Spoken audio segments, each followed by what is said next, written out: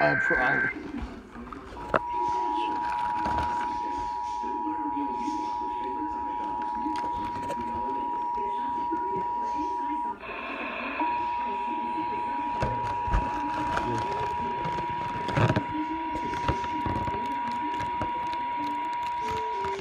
This is a national test system.